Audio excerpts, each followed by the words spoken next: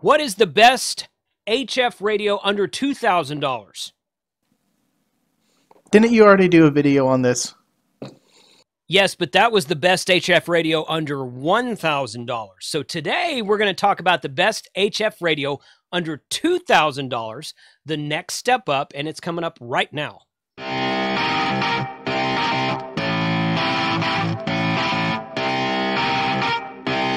Shut up and sit down.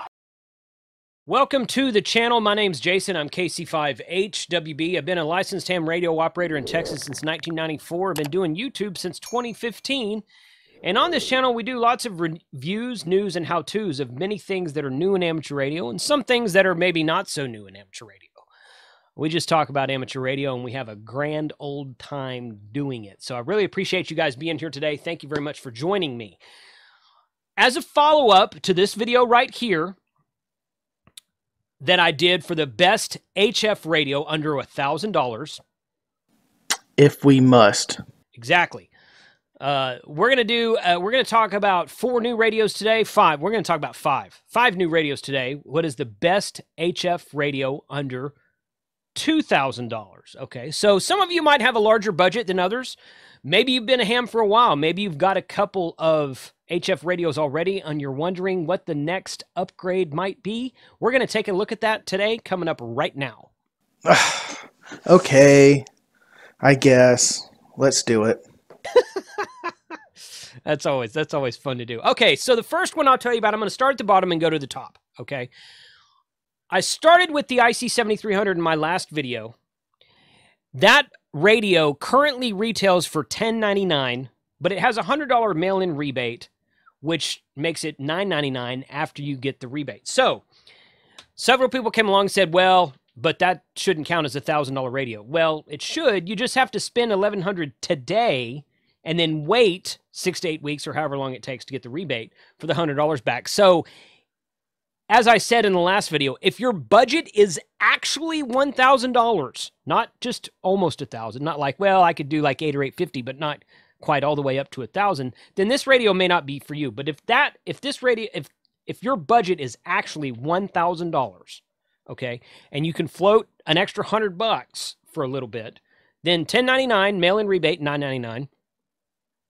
You're not going to get a bigger, better package of a radio for this price.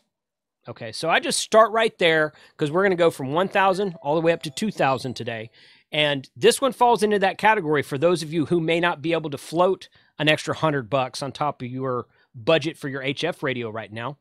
Okay, um, for the one thousand dollar, but in the two thousand dollar category, it's at the bottom of the list, price wise. Price wise, it's at the bottom of the list.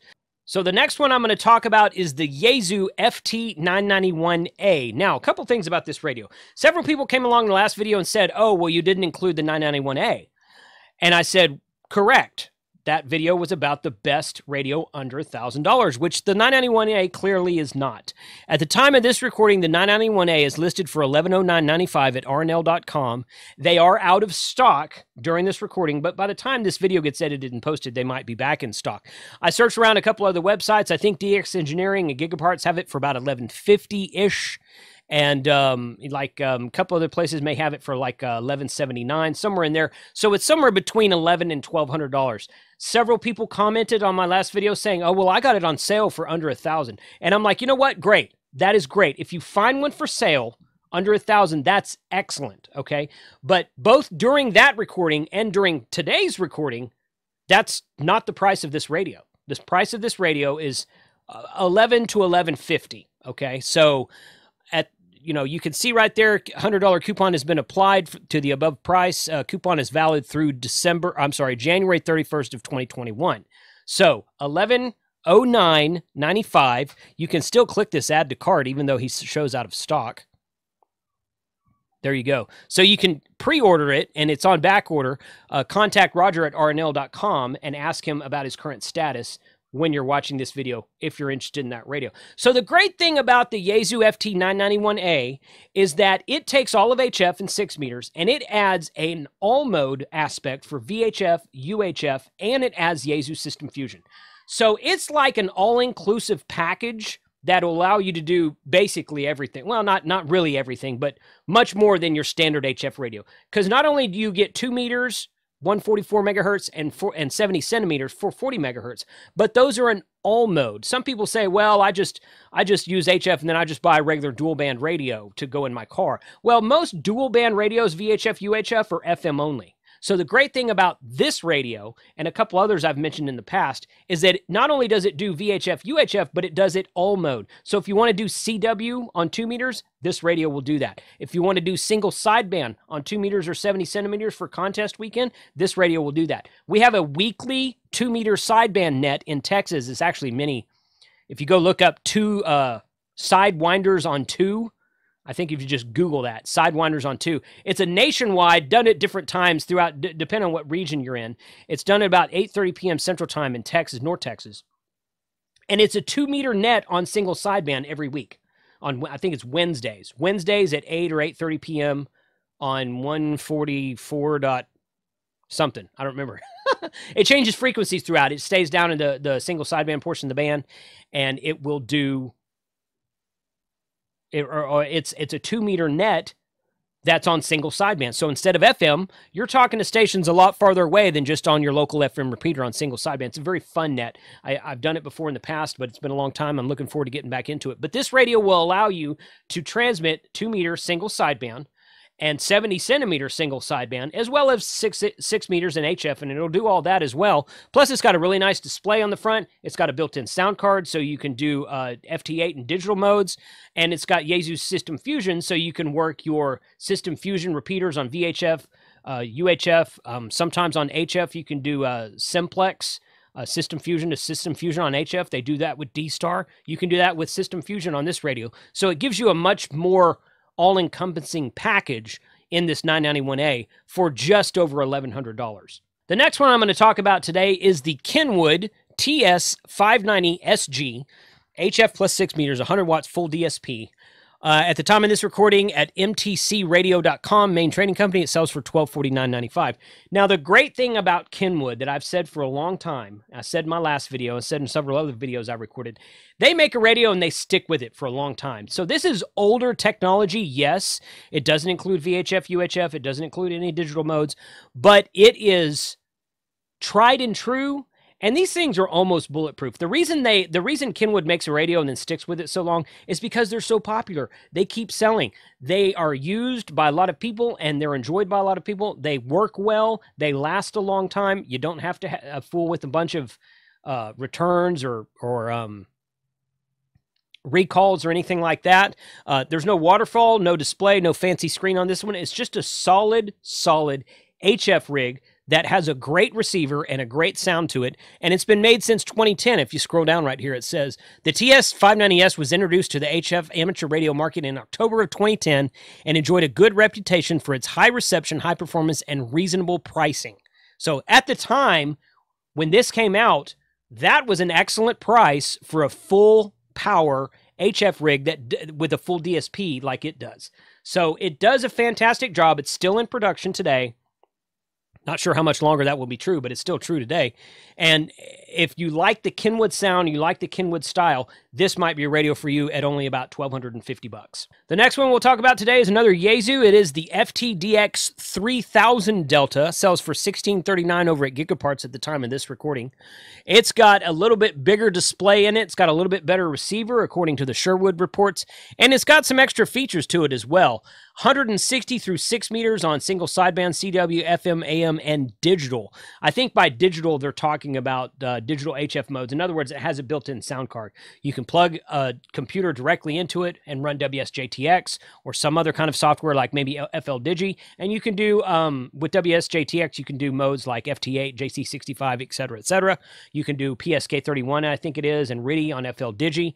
And you don't have to have some kind of interface cable in between the radio the radio itself and the computer like you do on some older models. For the Kenwood we just talked about, it doesn't have a built-in sound card, so you have to interface it with something like a like a um, something like a Rig Blaster or MFJ makes a couple of sound card interface devices, and you can uh, you can definitely get digital modes to work on those radios, but it takes extra hardware and a little bit extra expense.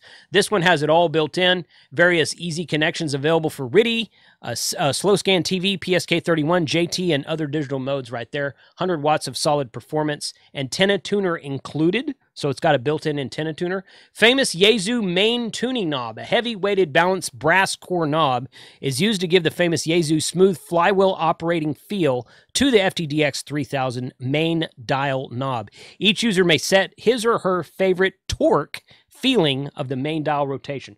That's a lot. That's important to a lot of people. A lot of guys really like the the touch and feel of a, of buttons and knobs on the front of a radio, which is why they won't use an SDR radio. So you know, it's you know what, to each his own. If you're on the air and making contacts, I say use whatever makes you happy. So you can read about some more other stuff right here.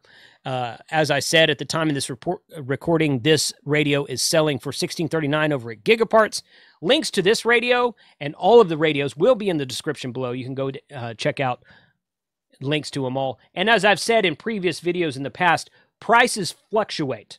Okay, so don't take all of the prices I'm talking about today as face value for the next two years. Okay, check prices, check your different websites, check the websites that you like to shop at, and see what the prices are at that time. Icom, uh, ICOM, Yaesu, Kenwood, all these guys run different coupons themselves and different rebates themselves every week, every every month, I should say, not every week, but every month and they filter those coupons down to all the retailers. So check and see what is applicable to you today. Hey guys, if you're finding value in this video, if you don't mind, hit the thumbs up button and click on subscribe below. It does help with the YouTube algorithm and it uh, helps put this video in front of other people who might want to see something about ham radio. All right, let's get back to it. So the la- the fifth and last radio I'm going to talk about today is really this one's really my favorite. This is the Flex Radio 6400. Okay. Now, the great thing about Flex Radio is I've said that I own this radio myself. This is my main go to radio at the time of this recording. It uh, it is a full SDR radio. It doesn't have any screen or buttons or knobs or anything like that on the front of it. It has dual antenna ports, so you can connect up two different antennas. It has a third antenna port for a receive only antenna, and it has a port on the back for a transverter. So you can purchase or build your own transverter and transvert um, like the 10 meter band. You can transvert it to say two meter single sideband, 220 sideband, 440 sideband. I've actually got a 220 transverter that I'm working on building. I'm going to add it to the back of my Flex radio, and we're going to do some 220 sideband contacts. Maybe we'll talk to like the three people out there who actually are on 220 sideband in the world.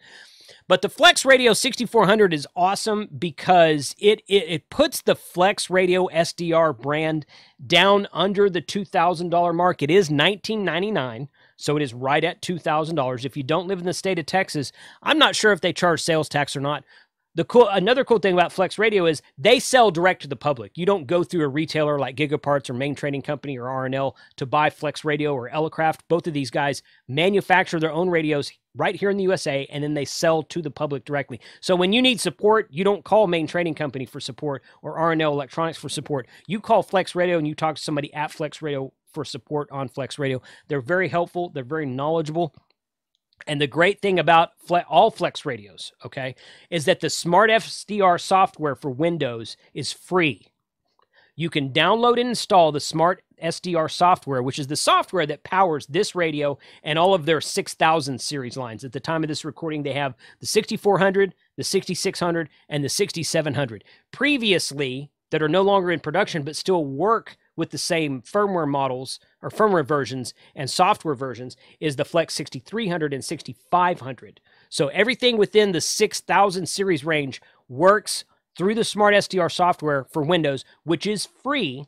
So you can purchase the Flex radio for your club, set it up at your club EOC with whatever antennas you might have there, and then have your your club members go download and install the Flex Radio software on their home computers for free and connect to the Flex Radio at your EOC and remote into and, and work HF remotely from their home QTH or from their mobile station or from wherever they are. So the Smart SDR software is very uh, versatile uh, for win- the, the Windows version. They have a Mac version and they have an iPad version, an iOS version for iPad that are made by a third party, and you do have to pay for those. They work the same way, but you do have to pay for those. But that money doesn't go to Flex Radio. That money goes to the developer of those specific applications. But the Windows version, the Windows version of Smart SDR is free.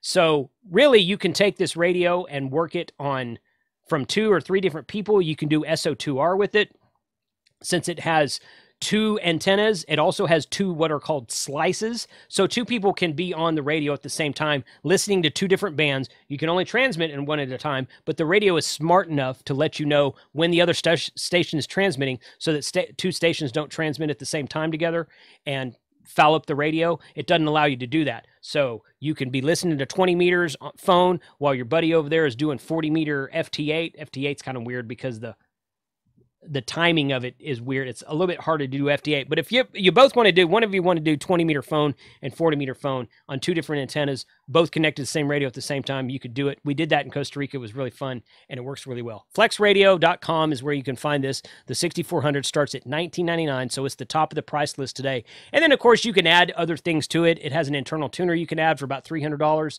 It has a Maestro that you can add for about $11.99, and the Maestro is a standalone unit that is the screen and the knobs and the buttons that will auto connect to any other radio on the network, or you can use a smart link to connect to radios over the internet as well.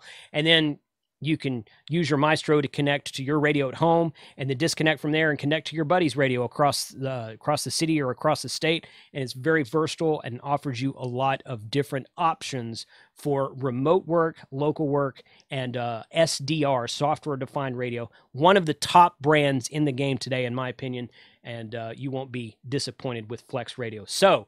If you have something that you think I maybe should have included, put a comment below. Let me know what that might be. And check out these videos over here. We will catch you next time.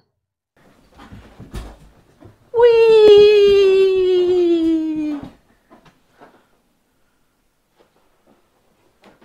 I'm dizzy.